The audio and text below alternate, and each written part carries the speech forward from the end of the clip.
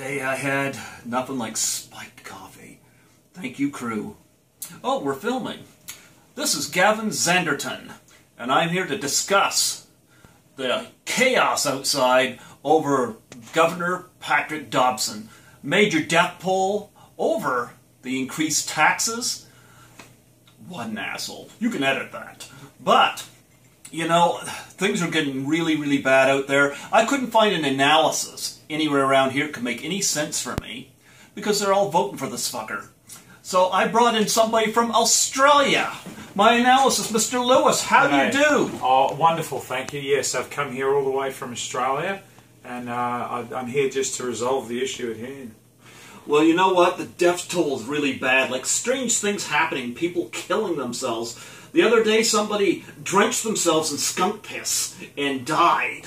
Anything you hear anything about that? Yes, no, and it's a similar thing that's going on in Australia too. Someone else has drenched themselves in skunk piss, which is unusual because we don't even have skunks in Australia. So I don't know where he got his hands on that. Well, I heard that somebody in Australia got their hands on a box jellyfish and, and tried to have anal penetration to it. Yes. That that came off bad, but I heard it was over Patrick uh, Dobson's campaign. Yes, that was a very unfortunate case, and that was actually the first recorded case in Australian history of anal penetration by a box jellyfish. Yeah. Um, so yes, very upsetting, um, and everyone's just everyone's angry and hurt, and especially the gentleman with the box jellyfish. Yes, I'm sure the box jellyfish is hurt too. Oh yes, um, he's he's in a total state of disrepair. Um, he's had to go through several uh, bouts of counselling. It's um, n- no one's come out of this a winner. Well, you know what? Especially the guy at the local zoo. You know, he was in the uh, anteater cage, and uh, you know, he allowed that anteater to stick its tongue straight up his ass, and it came out his mouth.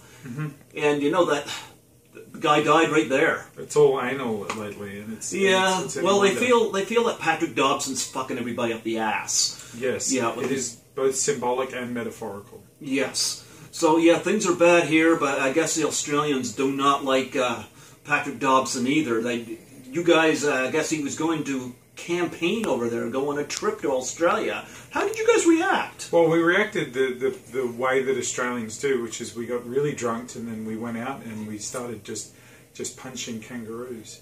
Yeah. Yeah, we just started attacking any that we saw, and we just um, that, that's how we handle a lot of stress in Australia. So, because Australian uh, kangaroos can actually box back, so it was quite, as I said, everyone was hurting. Well, you know what? Be great idea. Put him in a cage with cassowary. Mm-hmm. Yeah, that might work. Cassowaries are quite vicious, so yes. Um, hopefully, he doesn't try to have sex with it because uh, cassowaries actually have teeth underneath, so it would be hard. Yeah, and I would say put it in with one of those taipan snakes, but he might convince it for its shape as a dick, you know, and that could go in all kinds of wrong directions. It certainly could. Yeah, Yeah, we're we're we're fucked. We are fucked. Yeah, both both metaphorically and literally. Yes. Well, you know what? It was nice to have you on the show today. Mm-hmm. My You pleasure. know, if you don't do anything later, you want to catch a James Balsamo flick? Of course not. Of course not. Okay. Well, I'm with you there. Let's go get drunk. Okay. Okay.